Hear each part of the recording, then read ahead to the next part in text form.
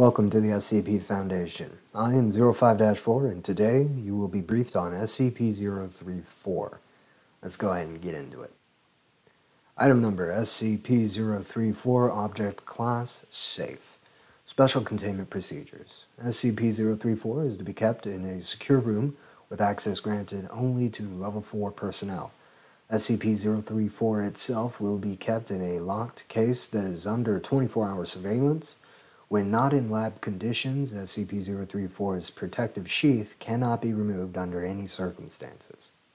Any personnel in contact with SCP-034 must be placed under a 24-hour observation period until their identities can be confirmed. Description SCP-034 is a primitive knife constructed out of pure obsidian. Tests reveal that SCP-034 is approximately 1,000 years old. Despite its crude method of construction and age, SCP-034 is still incredibly sharp and requires no maintenance to retain its edge. Expert analysis hypothesizes that SCP-034 may be of South American origin and that it may have been used in Native American rituals. Several accounts from Spanish conquistadors exploring the redacted region supports this hypothesis, with detailed writings on how redacted priests would flay their victims alive with similar knives and wear their skin as a tribute to their gods. SCP-034 has the ability to allow its bearer to take on the appearance of another individual. If SCP-034 is used to cut a piece of flesh from a living individual and that piece of flesh is placed against the skin of another individual, the second individual will take on not only the appearance, but all physical characteristics of the first individual. Testing has shown that the minimum amount of skin required can be as little as one square centimeter. However, testing has also revealed that the amount of time the transformation lasts is directly proportional to the amount of flesh used. The ratio of time the transformation lasts to flesh used has been measured at approximately one hour for every square centimeter used. Once the time limit has passed, the affected individual will revert to their original form. Analysis of SCP-034's ability shows that its method of mimicking another individual is nearly flawless. Not only does SCP-034 change its bearer's physical appearance, but their actual physical attributes as well, including height, weight, muscle mass, bone density, hair growth, eyesight, strength, physical medical conditions, and even DNA. The only physical traits that are not carried over in the transformation process are wounds caused by SCP-034 itself. Subjects still retain their original personality and memories while transformed. Even though the process is nearly instantaneous, taking only a few seconds, human test subjects have described the transformation process as extremely painful. Subjects also may suffer psychological trauma depending on the extent of their physical transformation. Side effects are especially serious if the subject takes on the appearance of a person with differing gender or with wildly different physical attributes. However, in order to function properly, the individuals who have had their flesh cut off by SCP-034 must still be biologically alive to maintain the transformation. Should the individual whose identity has been stolen expire, the effect immediately wears off. Further details may be found in Lab Report 034 Alpha, also, SCP-034 only appears to work on human subjects. Cross-species experiments with SCP-034 have resulted in data expunged. SCP-034 came into Foundation possession when an impostor disguised as Dr. Redacted attempted to infiltrate Site Redacted. The impostor was apprehended when authorities discovered the real Dr. Redacted tied up in his home with a large portion of his right arm skinned. Further details may be found in Post-Interrogation Report 2211. Lab Report 034 Alpha. We've decided to test several scenarios dealing with the limits of SCP-034's capabilities. Test 1. Sample taken from deceased human cadaver and applied to subject D452. There is no observable effect. Test 2. Sample taken from D532 and applied to D 452. D452 successfully mimics D532's appearance. Upon termination of D532, D452 immediately reverts back to original form. Test 3. Sample taken from D433 while under a medically induced coma and applied to subject D452. D452 successfully mimics 433's appearance and manages to maintain the transformation and consciousness.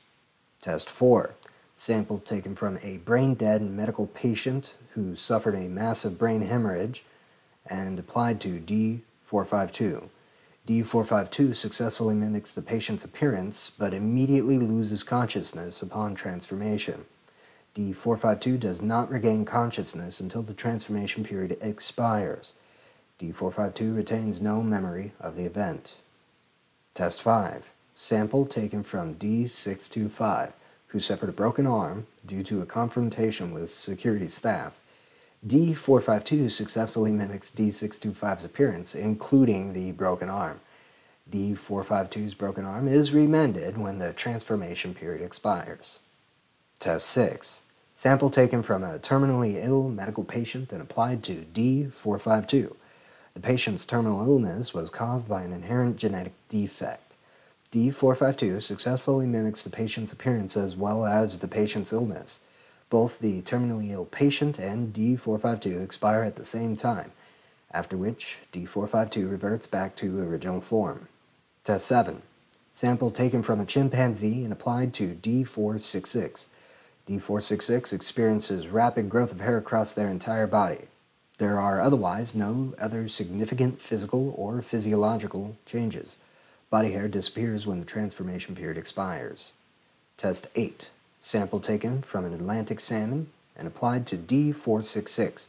There is no observable effect. Test 9. Under O5 authorization, a sample taken from SCP redacted is applied to D466.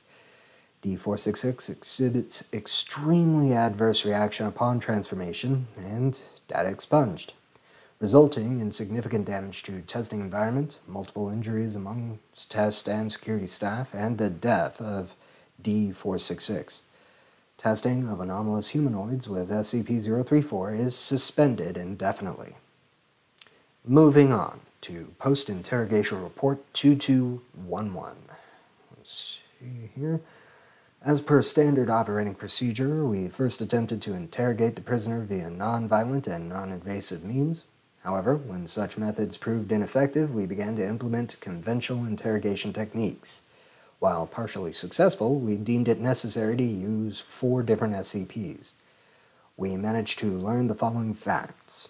The prisoner had extensive knowledge on the existence of the Foundation and its inner workings.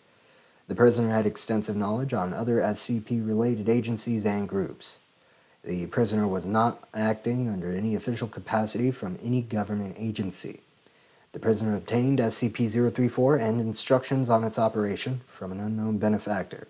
The prisoner was given very specific instructions to infiltrate Site Redacted and maintain his position until further notice. The prisoner had enough samples of Dr. Redacted to stay within Site Redacted for redacted days. Regrettably, the prisoner did not survive the interrogation. And that concludes your briefing on SCP-034. Hopefully there are not more of these out there, but on the off chance that there are, we need to research this anomaly so that we can counteract it and potentially utilize it in a safer, more reliable fashion.